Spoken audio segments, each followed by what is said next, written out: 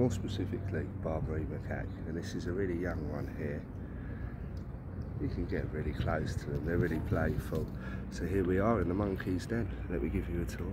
You can get pretty close to them. Look at this little guy.